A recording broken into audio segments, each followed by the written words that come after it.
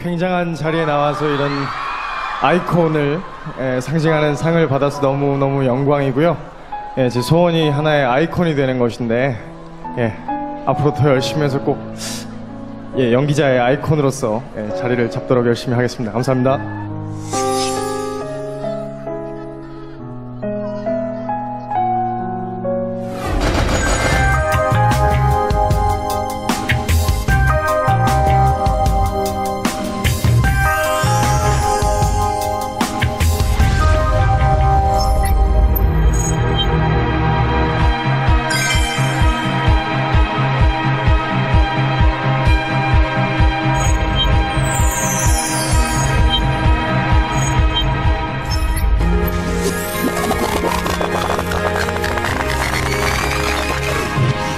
안녕하세요 김수현입니다.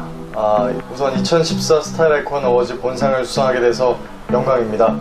아, 2011년도에도 뉴 아이콘 상을 받았었는데 올해 또 이렇게 과분한 상을 주셔서 정말 감사드립니다. 아, 제가 해외 일정으로 이렇게 뜻깊은 자리에 함께하지 못해 아쉽지만 아, 최대한 빠른 시일 내에 또 멋진 작품과 연기로 찾아뵐 수 있도록 노력하겠습니다. 감사합니다.